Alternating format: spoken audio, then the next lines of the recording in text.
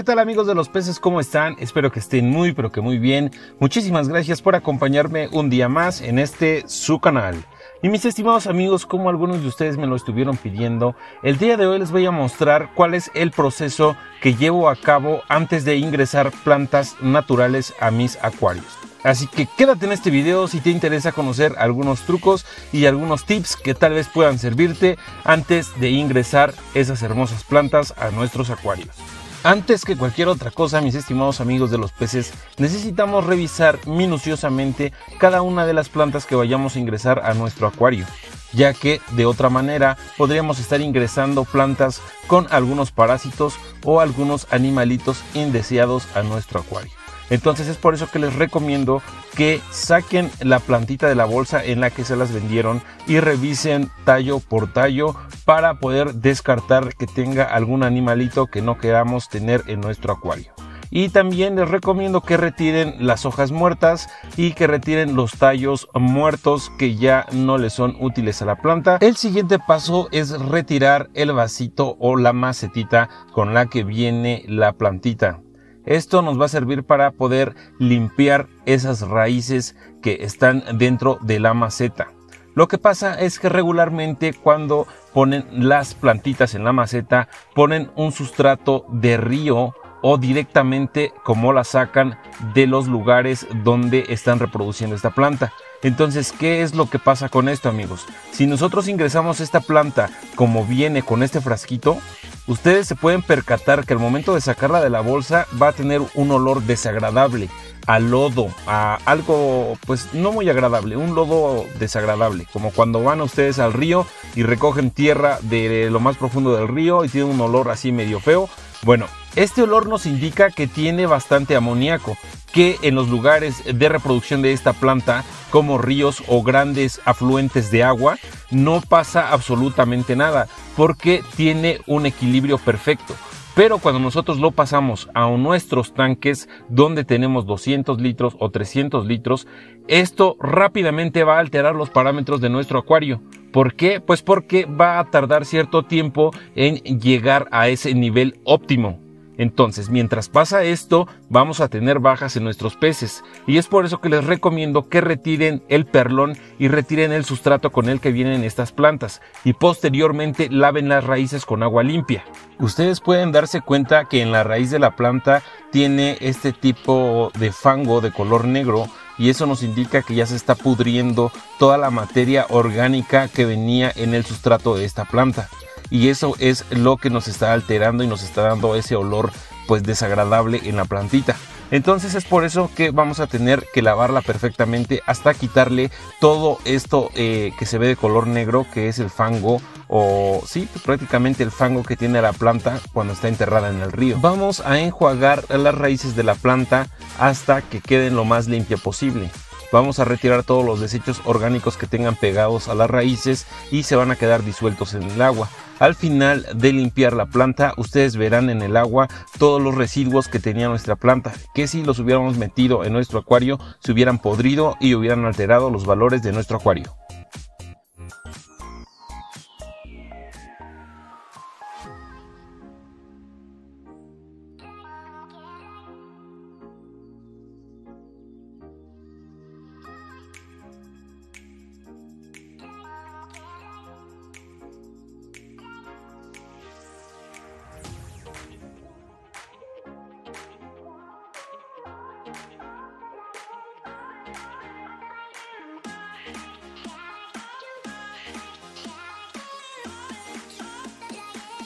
Vamos a seguir lavando las raíces de la planta hasta que veamos que ya no está soltando pues materia vegetal muerta y que las raíces ya estén cambiando de color negro a pues el color transparente de una raíz acuática como ya la habíamos conocido en videos anteriores. Una vez que veamos que la raíz ya está de color blanca o está pues lo más limpio posible, procedemos nuevamente a revisar las hojas para evitar que tengamos algún parásito y este procedimiento lo vamos a aplicar con todas las plantas que llegásemos a meter a nuestro acuario. Esto por dos sencillas razones. Número uno, para descartar que metamos nosotros algún animalito indeseado a nuestro acuario. Y número dos, que la planta altere los parámetros de nuestro acuario por materia orgánica en descomposición, amigos.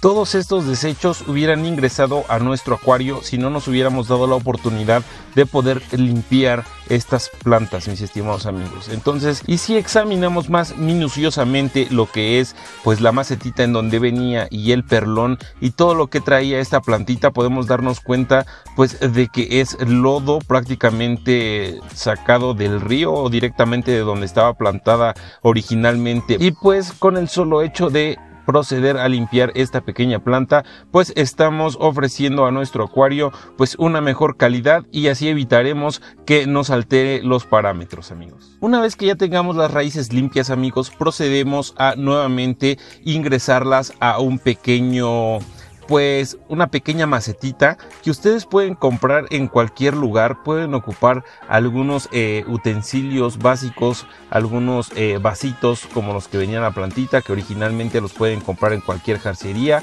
o cualquier tienda de productos para eh, el hogar sin ningún problema. Yo en este caso ocupé pues lo que es la charola donde vienen los huevos en el supermercado y recorté prácticamente con las tijeras esos pequeños hexágonos donde vienen los huevos y eso es lo que estoy ocupando como maceta para nuestras plantas. Lo que vamos a hacer es agregar un poco de sustrato del comercial que pueden encontrar en cualquier lugar donde ustedes vayan a comprar peces.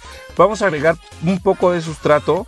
Posteriormente vamos a colocar la raíz encima de ese sustrato y vamos a sellarlo con arena de silice. En este caso a mí me gusta sellarlo con arena de silice porque cuando eh, le toca el agua a ese tipo de arena se compacta y queda muy bien sellado.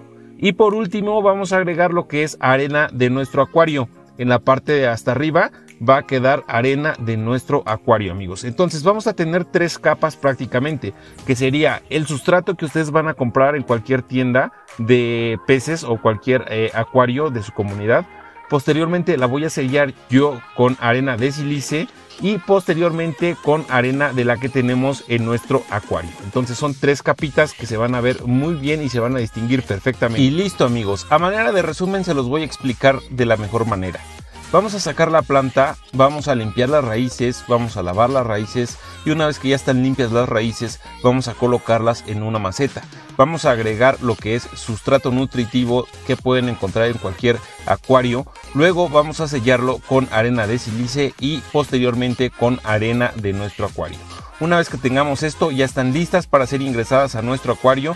Lo que hago yo en este caso es abrir una zanja en nuestro sustrato o nuestra arena de nuestro acuario, ya que como en mi caso no es acuario plantado y no tiene sustrato nutritivo, lo que hago es hacer un pequeño hoyo en el sustrato, meto lo que es la pequeña maceta y cubro con la arena de nuestro acuario, amigos. Entonces ya están listas para meter a nuestro acuario sin ningún problema y créanme que se van a desarrollar de la mejor manera posible.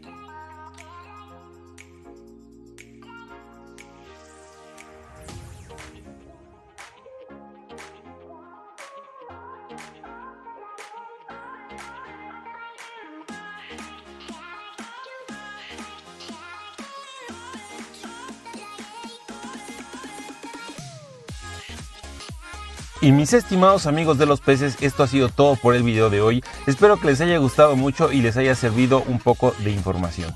Si es así, por favor, regálenme un enorme like, suscríbanse y activen la campanita para no perderse ninguno de mis videos. Les ha hablado su amigo Pepe Puffer. Pásensela muy bien y nos vemos en el próximo video.